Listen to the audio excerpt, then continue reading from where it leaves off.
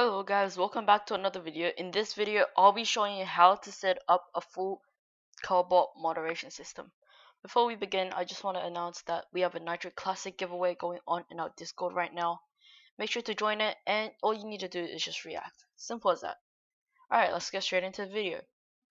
First, before you go onto Carl-bot website or anything, you want to go into the server you want the moderation system to be in go to roles and create some roles. So owner, admin, and then moderator. Sweet, sweet, sweet. Give ourselves the owner role. Cool. So go onto Google Chrome and search up carl.gg. Then go to manage. And then select the server you want the bot to be in. So mine is Jack Oz server. Cool. Now just do what it says here, continue, authorize, and I'm not a robot. Sweet. Carl-bot should be in our Discord now. Cool. Let's give it the owner role. Then get a command. Moderation. This is basically all the commands in the Carl-bot dashboard for moderation let's just say you want admins to have ban command, but moderators can't have it. So you go here and you put admin. So it requires one of the following roles. This means you need to have this role to be able to do the ban command. And basically you do this um, for everything here and choose the roles that can use the command and cannot. Blacklisted roles is the ones that cannot use the command. So let's put moderator. Let's just say you don't want moderators to have this.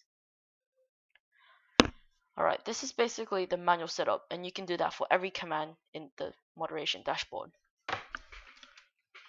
So I'll be showing you some commands that I don't really use much or I don't find useful and they're clean up, clear notes, new users, oldest, notes, old users, report, remove note, set note, report channel, youngest. And so let's just say, let's go to moderation here. And when you do this command, usually if you just do mute at someone. So let's just do mute me. It won't work because I'm the owner, but let's just say I mute myself and I don't put a duration. That means I'll automatically be muted forever and until someone unmutes me, I won't be unmuted. But if your staff always forgets to put a time, you can always change this by doing default mute duration. And you can set it for however long you want. So let's just make it 2. So that means whenever someone just does the mute command and then someone's name, it'll show up and it'll automatically make a two hour mute. So you don't have to put in the time yourself. It's pretty easy. Same for the bans and the temp bans. When you do temp ban, you can set up a time you want. So let's just say 24 hours, one day.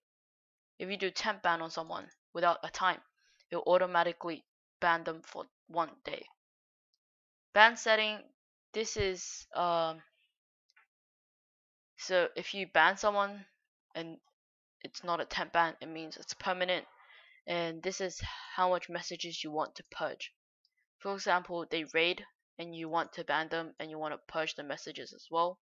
How many days of messages do you want it to purge? Pretty sure the max is 14 so let's do 14 cool Anyways, I can do more Carl-bot moderation videos for you if you want. And yeah, make sure to check out my other videos and join my Discord for the Nitro giveaway. See you in the next one. Peace out.